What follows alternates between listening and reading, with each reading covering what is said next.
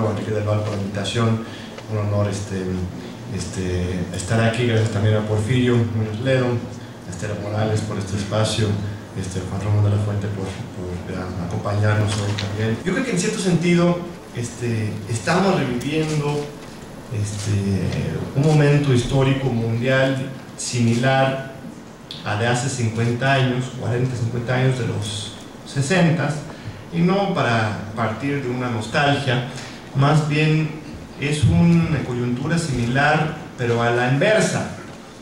Y lo que más me hace pensar esta similitud no es tanto la presencia de movimientos sociales este, generalizados, que no, están, más bien lo que estamos viendo que hace falta que, que surjan, pero sí se empiezan a reeditar muchas lógicas este, autoritarias similares a lo que vivimos hace 40, 50 años. Nada más que en ese momento estas lógicas autoritarias, existían, pero eran en mucho sentido pues una respuesta justamente a esta movilización ciudadana. Y ahora más bien el que lleva a la delantera, el que va adelante, son las lógicas autoritarias y los que vamos a tener que responder, responder somos los que este, pensamos y creamos en la fuerza y la importancia de la movilización ciudadana. Y hay un autor, por ejemplo, que de repente como un fantasma regresa a estar muy presente en el escenario actual. Y esto es lo que nos hace pensar también en estas similitudes, que es alguien del nombre Samuel Huntington. No sé si ustedes alguna vez tuvieron que leer Samuel Huntington. Este, él, bueno, es el famoso, bueno, ya, ya afinado, este, paz descanse, este profesor de la Universidad de Harvard, que recientemente escribió un libro incluso sobre la gran pérdida de la identidad de los Estados Unidos, precisamente por la migración de los mexicanos que no compartían la cultura y la sociedad civilizada y liberal de los Estados Unidos y estaban corriendo, este, corroyendo la, la, la, central de la cultura política este, de los Estados Unidos. Pero más bien yo me refiero a otra obra que él publicó en 1968 que se llama El orden político de las sociedades en cambio, en que lo que dice Samuel Huntington es que lo más importante en una sociedad, sobre todo está hablando de las sociedades en desarrollo, es la estabilidad y la democracia. Lo importante son las instituciones fuertes y no la participación ciudadana.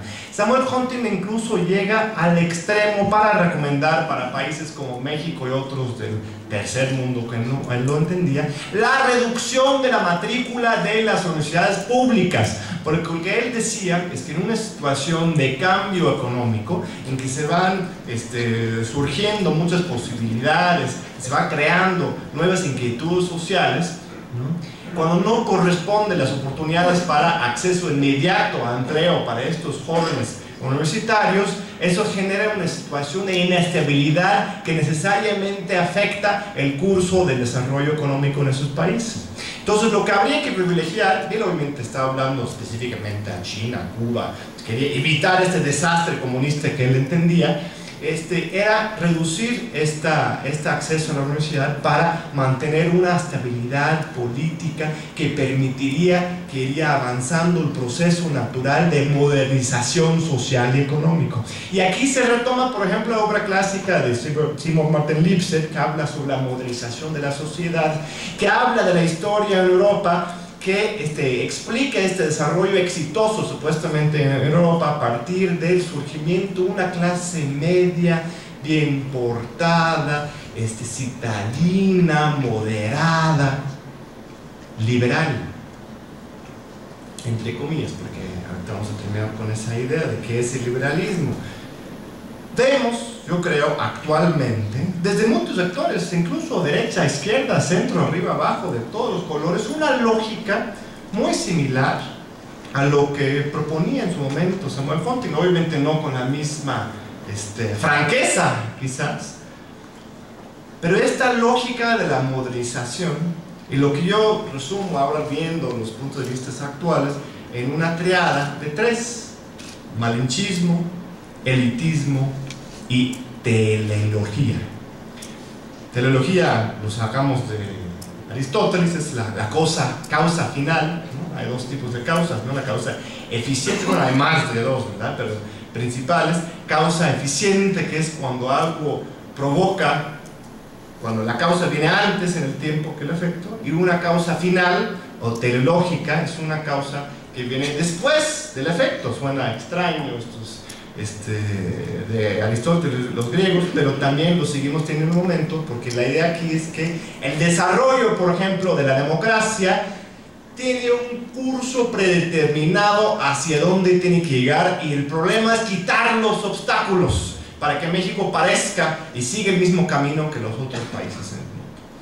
Entonces esos tres conceptos o eh, lógicas o incluso ideologías del malinchismo, el elitismo, la filología, creo que nos contaminan y nos afectan de manera muy importante nuestro pensamiento. Y digo esto de todos los ámbitos de, de la esfera política y ideológica. El malinchismo surge a partir de un desprecio para la cultura y la historia mexicana. Este, quizás es porque yo nací en otro país, aunque con mucha honra soy ciudadano mexicano y no, no pienso este, ni me explico en ninguna otra parte del mundo, pero quizás porque si uno tiene estas dos perspectivas se da cuenta de este, todos los avances increíbles que tenemos en materia política o constitucional en México, que tiene que ser el punto de partida, esta valoración de este, la importancia de nuestra constitución, nuestra historia constitucional en México. La separación del Estado y la Iglesia, ahora bajo ataque, pero este, algo fundamental. Ustedes saben que en Alemania automáticamente se descuentan de los impuestos de los ciudadanos dinero para las iglesias. Ustedes saben que en los Estados Unidos todavía se sigue enseñando el este, eh, este, creacionismo en las primarias. Ustedes saben que la pena de muerte es práctica común en los Estados Unidos y otros países del mundo. Y aquí, pues, este, aparte de las este, ejecuciones de los narcotraficantes, este, supuestamente no tenemos este, pena de muerte, ya desde la reforma penal ya este, más claramente desde dos años. Yo creo que sí tenemos que partir de ese rechazo contundente a la lógica malinchista de querer parecernos a este, algún otro país en esta cuestión, sobre todo de la cultura política. Dos, el tema del elitismo. La idea de esto, de que la clase media, la clase bien portada, civilizada, universal, va a ser la que nos saca de nuestros problemas actuales. Que el problema, se insinúa, es que en México pues tenemos demasiados este, pobres, pues sí, sí, pero que de alguna forma podemos cambiar este, la sociedad a este, atender este problema de la pobreza a partir de una lógica más este, ilustrada.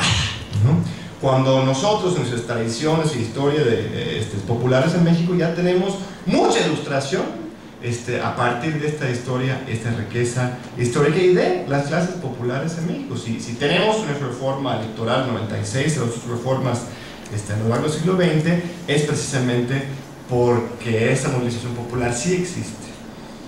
Y tercero, ese tema de la teología, este, que también surge a partir de estas ideas, por ejemplo, de que en México este, no podemos, por ejemplo, aprobar reformas históricas, porque este, hay un parálisis en nuestro sistema político. No nos logramos poner de acuerdo, nos estamos peleando todo el tiempo.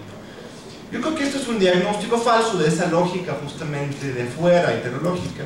Lo que tenemos que hacer más bien es valorar justamente que en los últimos 15 años, ustedes saben, este, no ha gobernado una generación del no, sino una generación de pluralidad política con todos sus este, problemas y dificultades, pero que a partir de esta conflictividad y debate pública, que es lo que tenemos y nos distingue y hay que valorarlo en el, contexto mexicano, nos ha introducido, nos ha presentado con este, pues, la cuarta o la tercera parte de reformas constitucionales que hemos tenido desde la revolución.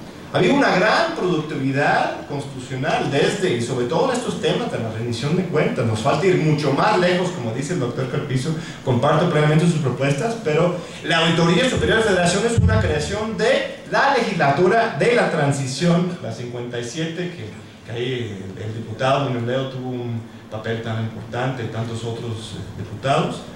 Este, las reformas que daban autonomía a la Comisión Nacional de Derechos Humanos, la creación del IFAI, la ley de transparencia, este, reformas eh, en materia de corrupción, servicio civil, que ahora ya está desbaratado y, este, destruido, pero ahí está, por lo menos en papel, el servicio civil. En fin, estas reformas sí son un producto de la pluralidad e incluso de la conflictividad del debate público. Eso es lo que, lo que tenemos. Entonces yo creo que sí es un error partir de un desprecio del sistema que tenemos, más bien este, este, tenemos que valorar esta gran tradición este, ante una realidad y una situación este, preocupante, desgarradora, como la que nos acaba de dibujar el doctor Carpizo. Evidentemente sí, el, el, barco se está hundiendo y tenemos que hacer algo de manera este, muy importante. Y aquí quiero en los dos minutos, cinco minutos que me, quedan, sí hacer una reflexión breve sobre esto de las dos caras del liberalismo. El liberalismo surge pues con dos caras y siempre la ha tenido. Uno, una exigencia de la ciudadanía y a partir de los derechos a el Estado autoritario este, de los reyes eclesiásticos defender los derechos de los ciudadanos, de los este, eh, habitantes de un país ante esta imposición autoritaria y crear un sistema político democrático. Pero por otro lado, el liberalismo también existe como un proyecto de transformación cultural para moldear al ciudadano, para pasar de esa opresión del Estado monárquico autoritario a otra opresión de un sistema monopolista y capitalista en el mal sentido. Y este liberalismo tenemos que rescatarlo para el primer fin. Todavía tenemos este Estado autoritario que tenemos que resistir con todas las fuerzas y con los derechos ciudadanos en la mano. El combate a la corrupción, la defensa de los derechos, etc. El sistema democrático, la democratización. Pero tenemos que evitar la tentación de, por ejemplo, voy a citar a una persona, no lo voy a mencionar por nombre, este, pero de, por ejemplo, referir a los mexicanos de la, de la siguiente forma. En México los hábitos no liberales del corazón son como un tatuaje. Aquí ideas como Estado de Derecho, separación de poderes, tolerancia, protección de libertades básicas de expresión, asamblea, libertad de culto y propiedad no forman parte del andamiaje cultural postrevolucionario. Es todo, hay todo un grupo de personas que ahora en este momento de la revolución andan este, hablando, y esto también es para mí la esencia central de lo que se llama la iniciativa en México, de enseñar a los mexicanos, no que sí se puede, sino que no, no pudieron y necesitan ayuda externa para cambiar. Que hay un desprecio directo de la cultura mexicana y que la revolución nos ha enseñado a ser obedientes, etc. Yo creo que esto es falso.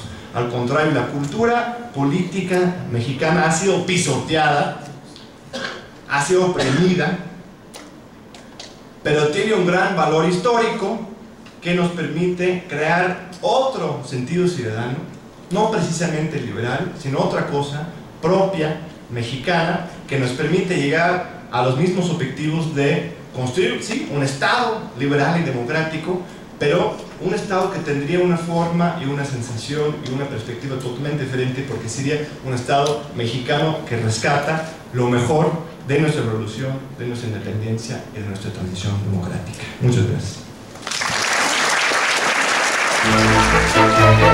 Thank you.